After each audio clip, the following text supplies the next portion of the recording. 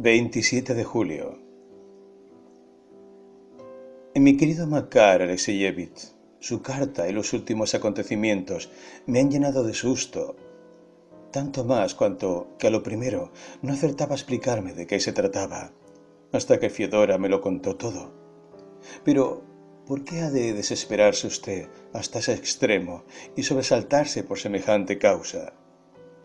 Sus explicaciones no me han satisfecho.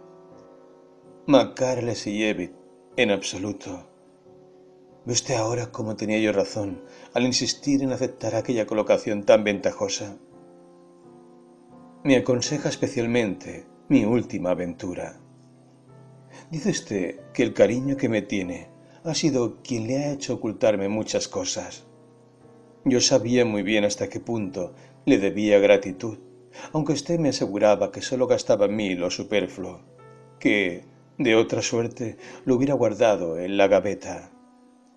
Pero ahora que ya sé que usted no tiene ningún dinero guardado, que usted, al enterarse casualmente de mi triste situación, solo por piedad y lástima, decidió gastar en mí el sueldo, que, además, pedía por adelantado, y que durante mi enfermedad llegó usted incluso a vender sus ropas de vestir.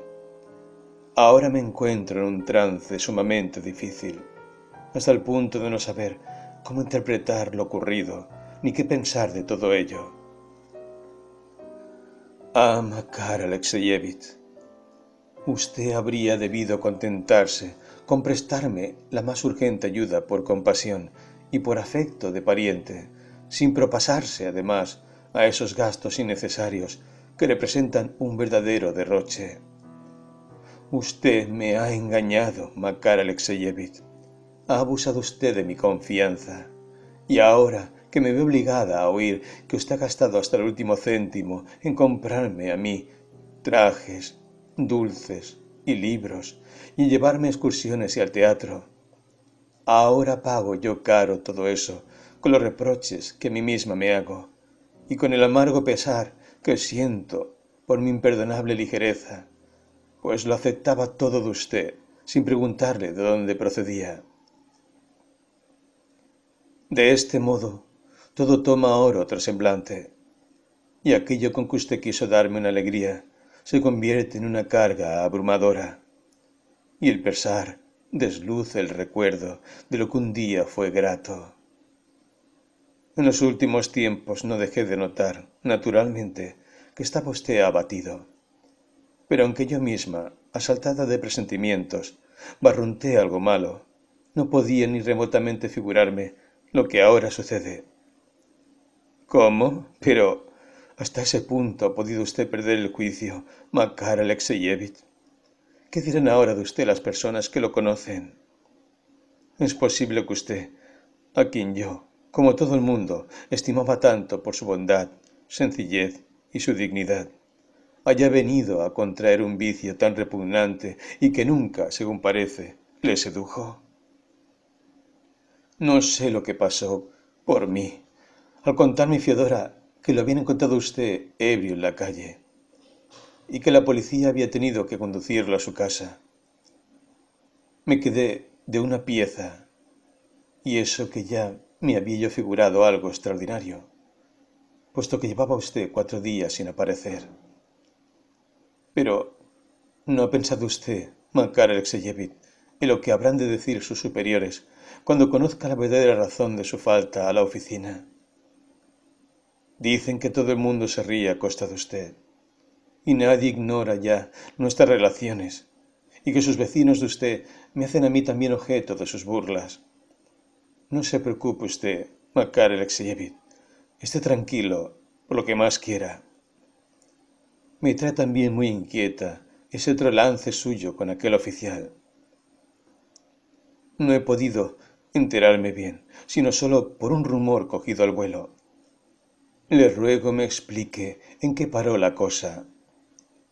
Me escribe usted que teme comunicarme la verdad, pues quizás se expone con ello a enajenarse mi cariño y que durante mi enfermedad, desesperado, lo vendió usted todo para poder sufragar los gastos y evitar que me llevasen a un hospital, y que se entrampó usted hasta los ojos, por lo que su patrona le da ahora escándalos todos los días, Pero al ocultarme a mí todo eso, hacía usted lo peor que pudiera hacer. Usted quería evitarme el saber que era yo la causa de sus apuros. Pero ahora, con decírmelo, me causa usted doble pena. Todo esto casi acaba conmigo, querido Makar Alexeyevich. La desdicha es una enfermedad contagiosa, amigo mío. A los pobres y a los desgraciados debían tenerlos lejos los unos de los otros, para que no se agravasen mutuamente sus miserias. Yo le he proporcionado a usted un contratiempo, cual nunca lo experimentó tan grave en toda su vida. Esto me atormenta lo indecible y me quita todo brío. Escríbame todo con sinceridad, todo lo que le sucede, ¿Y cómo ha podido usted abandonarse hasta ese extremo? Tranquilícese usted, si le es posible. No hablo por egoísmo, sino por el afecto y el cariño que le tengo, y que nada en el mundo podrá ahuyentar de mi corazón. Le quiere de todas veras. Bárbara Dobroselov. 28 de julio.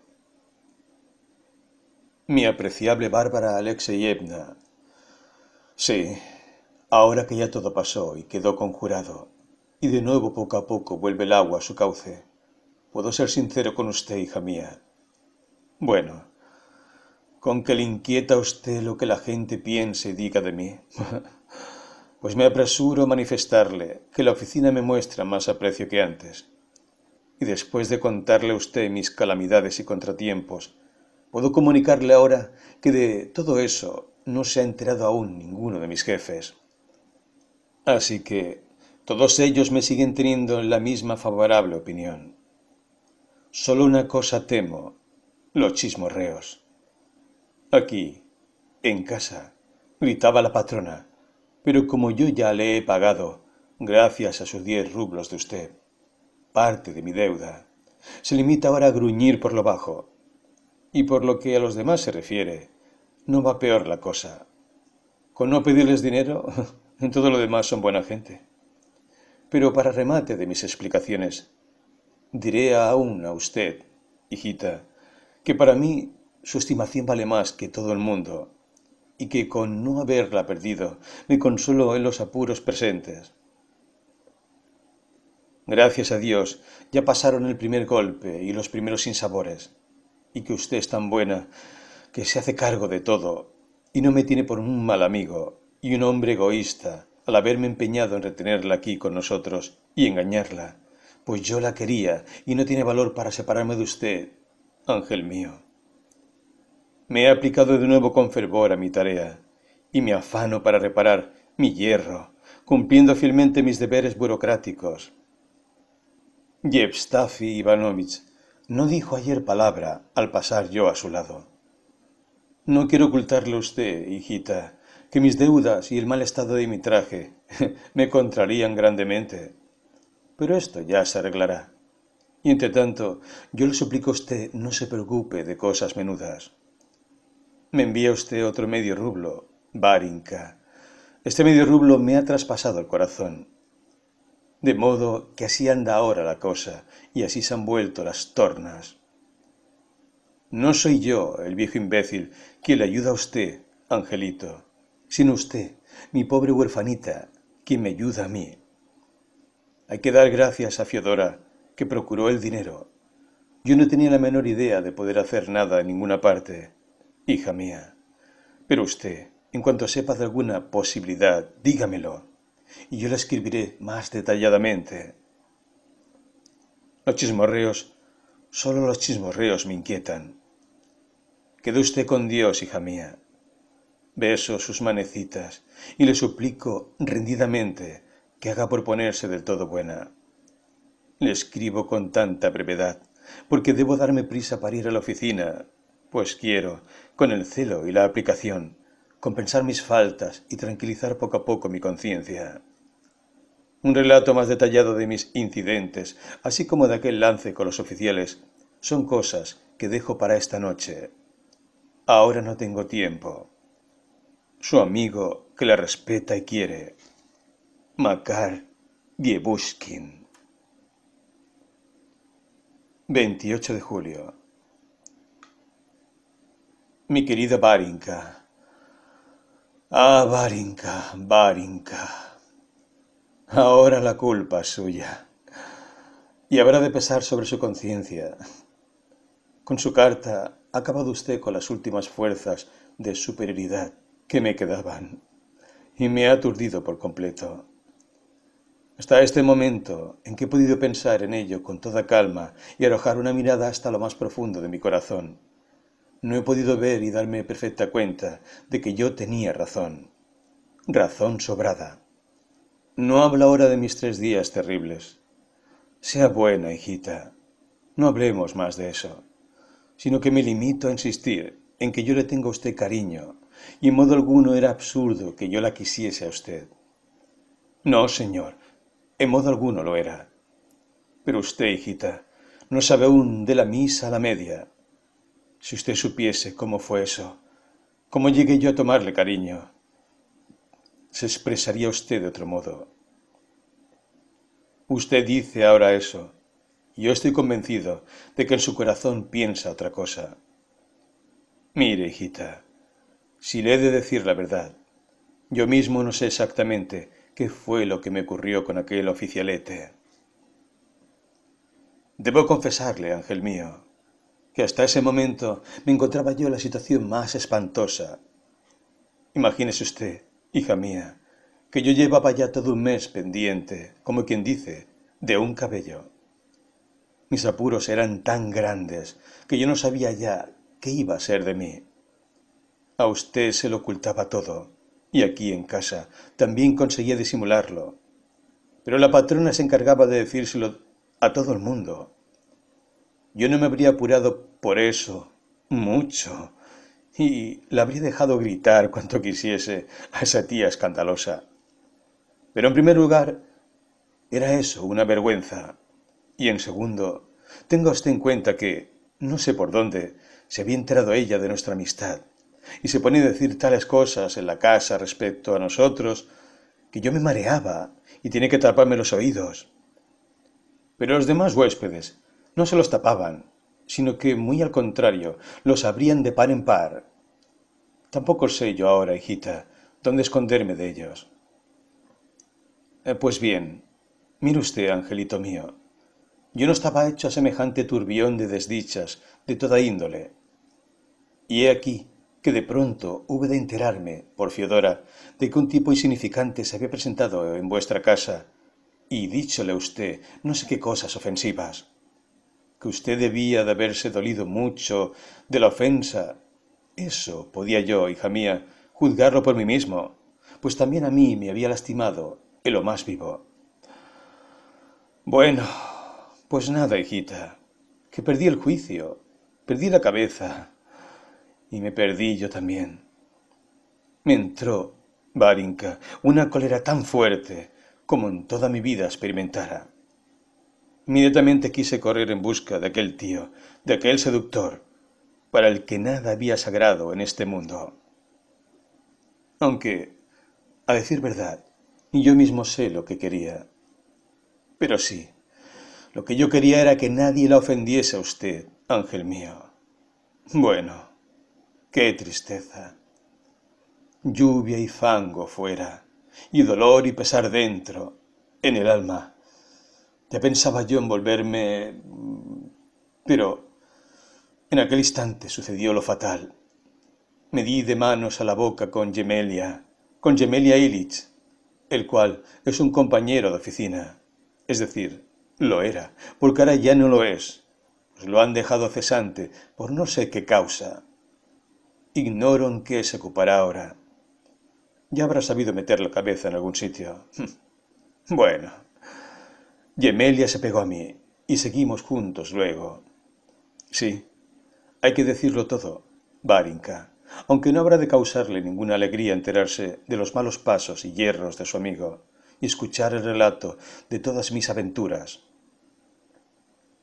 Al tercer día, a eso del oscurecer, Gemelia, Dios le perdone, había estado azuzándome. Me fui por último a ver al tenientito. Yo me había enterado de sus señas por nuestro criado. Ya hacía tiempo, Ahora viene a pelo decirlo, que yo tenía entre ceja y ceja a ese pollo. Le había observado muy bien cuando estaba de huésped en casa. Ahora comprendo, sin embargo, que no me conduje correctamente, pues no estaba nada despejado cuando le hice anunciar mi visita. Y luego, luego, hijita, ya no sé francamente lo que sucedió. Solo recuerdo eh, que estaban con él muchísimos oficiales, aunque es posible, vaya usted a saber, que yo lo viera todo doble.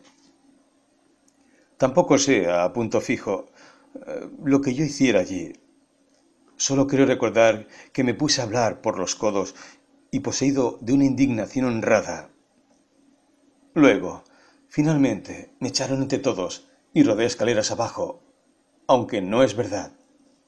En último término, que me echasen literalmente, sino que yo me eché a mí mismo. Como pude volver a casa, eso solo Dios lo sabe. Ahí tiene usted todo, Barinka. Yo, naturalmente, me he comprometido mucho y con ello ha padecido no poco mi reputación. Pero nadie sabe del todo lo ocurrido, ninguna persona extraña, nadie, quitándola a usted. De modo que, en fin de cuentas, es como si no hubiese pasado nada. ¿Será quizá así, Barinka de mi alma? ¿Qué le parece a usted? Lo único que me consta de fijo es que el año pasado, Aksenti Osipovich le puso las manos encima a Pior Petrovich pero no lo hizo públicamente, sino a solas. Le rogó que pasara al cuarto de guardia, pero yo lo presencié todo por casualidad. Bueno, pues cuando allí lo tuvo, la emprendió con él como creyó oportuno, pero guardándole todos los respetos, pues, como le digo, nadie se enteró del lance sino yo. Solo que yo, claro, no soy nadie, es decir, que si me preguntaran, me limitaría a decir que nada había oído, por lo que es absolutamente igual que si de nada me hubiese enterado. Bueno, pues luego de eso, Pior Petrovich y Aksenti Osipovich han continuado tratándose como si tal cosa. Pior Petrovich es, como usted sabe, muy orgulloso y ha tenido bien cuidado de no decirle a nadie nada. Y ahora ambos, cuando se encuentran, se saludan y hasta se dan las manos, cual si nada hubiera sucedido entre ellos. No le digo que no, Varinka. No me atrevo a contradecirla. Comprende yo mismo que he caído muy bajo y hasta lo que es más horrible, que he perdido mucho de mi dignidad. Pero probablemente todo esto estaría escrito desde el día que nací. Ese sería mi sino. Y al sino, como usted sabe, no hay quien pueda darle esquinazo. Con que ya tiene usted aquí, Barinka, la relación circunstanciada de cuanto hubo de ocurrirme en mis apuros y desventuras. Como usted ve, son de una índole tal que más vale no hablar de ello. Estoy enfermo, Barinka, y han oído de mí todos los buenos sentimientos. Pongo fin a estas líneas reiterándole a usted, Bárbara la la seguridad de mi afecto, aprecio y estimación, y quedo su servidor más fiel. Makar Diebushkin 29 de julio. Mi querido Makar Alexeyevich, he leído su carta y batido palmas. Dios mío, Dios mío, mire usted, amiguito, o me oculta usted algo, o solo me ha escrito una parte de sus calamidades, o verdaderamente, Makar Alexeyevich, ¿será que yo no acabo de entender bien su carta? Venga usted hoy a verme, por lo que más quiera. Y oiga usted, venga sencillamente a comer con nosotras. Yo no sé qué vida hace usted ahí, ni cómo está ahora con la patrona. Usted no me dice nada de eso en sus cartas, y no parece sino que lo hace con toda intención, como si no quisiera decírmelo. Aunque, hasta la vista, amiguito. Venga usted hoy sin falta. Pero sería lo mejor que vinís a comer con nosotras. Fiodora guisa muy bien. Hasta luego, pues. Suya, Bárbara Dobroselov. 1 de agosto. Mi querida Bárbara Alexeyevna, usted se alegra, hijita, de que Dios nuestro Señor le ofrezca hoy una oportunidad de pagar bien con bien y demostrar su gratitud. Creo en esto, Varinka, y creo la bondad de su corazón, y no he de dirigirle a usted ningún reproche, pero usted tampoco me lo sabrá de dirigir, como en otro tiempo, tildándome de dilapidador. Yo incurrí en ese pecado una vez. ¿Qué hemos de hacerle? Si es que usted se empeña a sostener que eso sea pecado... Aunque créalo usted, Varinka, duele oírle decir a usted precisamente esas cosas. Pero no me tome usted a mal el que yo le hable así. Tengo todo dolorido el corazón, hijita. Los pobres somos tercos. Lo ha dispuesto así la naturaleza. Yo lo había observado y sentido así ya antes de ahora. El pobre es susceptible. Ve el mundo de otro modo. Mira a cada transeúnte de soslayo, con recelo, y coja el vuelo la menor palabra. Si estarán hablando de él, si será que están comentando voz baja su desastrado aspecto, si no se estarán preguntando qué es lo que hace ahora? ¿Quién sabe si inquirirán también cómo se las bandea, cómo sale del paso? Todos sabemos, Varinka, que un hombre pobre es peor que un pingajo y que, dígase lo que se quiera, no puede merecerle a nadie la menor estimación. Porque por más que escriban esos literatuelos, un pobre siempre será un pobre con todas sus consecuencias. ¿Y por qué ha de ser siempre un pobre? Pues porque en un hombre pobre todo, por decirlo así, debe estar con el lado izquierdo hacia afuera, no puede tener nada guardado lo más íntimo, ningún orgullo, por ejemplo, ni otro sentimiento análogo, pues no se lo tolera. No hace mucho, decía Mellemelia, que una vez hicieron para él una colecta, no sé dónde, y que por cada céntimo que le dieron tuvo que sufrir poco menos que una investigación. Aquellos tíos pensaban que no debían darle así como así sus limosnas. Nada de eso. Pagaban para que les enseñasen a un pobre. Hoy, hijita, resultan muy particulares sus beneficios. Quizá lo hayan sido siempre, quién sabe. O será que no lo entiende la gente, o que lo entiende ya de sobra. Una de las dos cosas. ¿Ignoraba usted esto por ventura? Pues no lo olvide ahora. Créame usted, Varinka, que si sobre otras muchas cosas no sé absolutamente nada, lo que es sobre esta sé más que muchos. Pero, ¿de dónde puede un individuo saber estas cosas? Y sobre todo, ¿por qué piensa así? Sí, ¿de dónde lo sabe? Pues... por experiencia. Exactamente igual ese señorito que camina a su lado y dentro de un instante entrará en un restaurante ya pensando para sus adentros. ¿Qué tendrá para comer este mediodía ese empleaducho? Yo voy a pedir ahora mismo sote o papillote, mientras que él es posible que tenga que contentarse con una papilla sin manteca. Pero, ¿qué le importa a él que yo solo tenga para comer una papilla sin manteca? Sí, hay hombres así, Varinka. Existen verdaderamente esos hombres que solo piensan esas cosas y se mueven entre nosotros esos tipos inútiles, esos fisgones y chismosos, y por todas partes se cuelan, mirando a ver si pisa uno con toda la planta o solo con la punta del pie, tomando nota de si este empleado o aquel otro de tal o cual oficina llevan botas por las que se les asoma el dedo gordo o tienen rozadas las mangas del uniforme por los codos, todo lo cual lo escriben luego sin omitir detalle, y sin más preámbulo lo dan a la imprenta y allá te va. Pero ¿qué les importa a ellos que yo tenga gastadas las mangas de mi uniforme por los codos? Sí, si usted me perdona lo fuerte de la expresión, le diré, Varinka, que un pobre en ese estado siente una vergüenza idéntica al pudor virginal de usted. Usted, perdone este burdo ejemplo, no se desnudaría delante de todo el mundo, ¿verdad? Pues vea, exactamente igual, con el mismo desagrado. Ve el pobre que meta a nadie la nariz en su perrera para fisgar cómo viven él y los suyos. ¿Qué razón existe, Varinka, para ofenderme a mí justamente con mis enemigos, que han faltado al honor y a la buena reputación de un hombre honrado? Bueno, pues esta mañana estaba yo sentadito en mi oficina, completamente callado y absorto, cuando me hube de imaginar mi propia figura, cual la de un gorrión sin plumas, de suerte que llegué a sentir deseos de morirme de puro avergonzado. Me da vergüenza, Varinka. Es que sin querer pierde uno el valor cuando sabe que por los siete de las mangas se le ven los codos y que los botones de la chaqueta están pendientes de un hilo.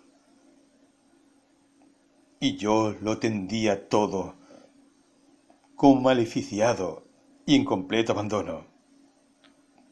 Y sin querer pierde uno el valor.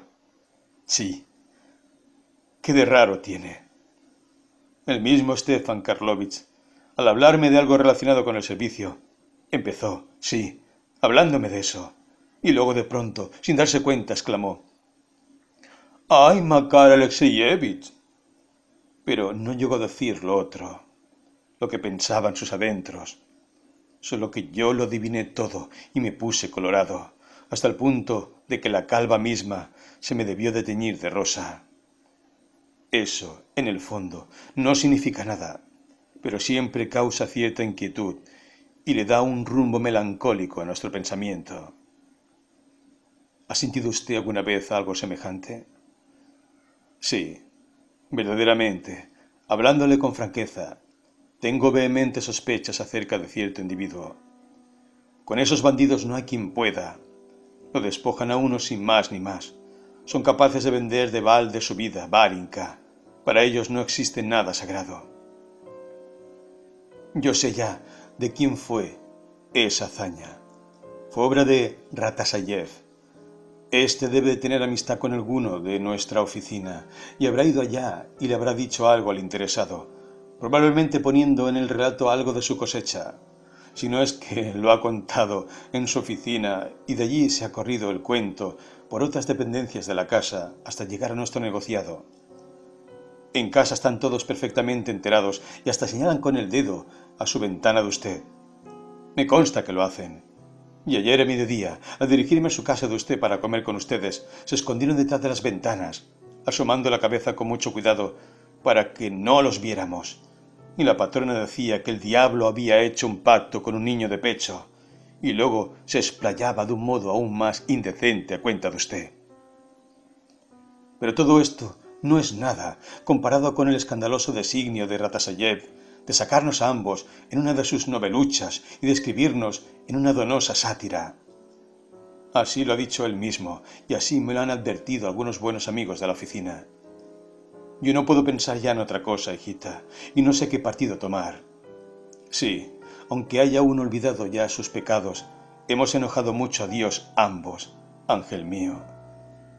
Quería usted, hijita, enviarme un libro para que no me aburriese. Déjelo usted por ahora, mi niña. ¿Para qué lo necesito? ¿Y de qué libro se trata? No será todo de cosas de la realidad.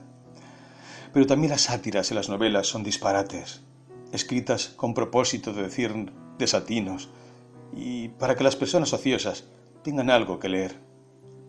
Crea, hijita, lo que le digo. Haga usted caso de mis muchos años de experiencia. Y si empezamos por Shakespeare, vea usted, la literatura cuenta con un Shakespeare. Ese mismo Shakespeare es un puro disparate, y nada más que un disparate, un puro librejo de burla y escarnio, escrito por esos garrapateadores para divertir al público suyo Makar Yebushkin.